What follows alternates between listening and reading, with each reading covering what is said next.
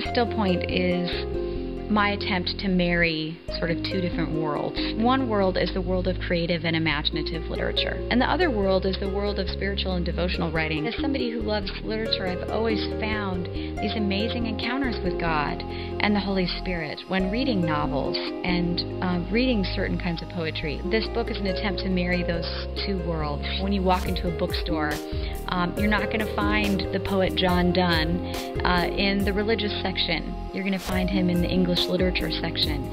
And it here is a man who was wrestling with God.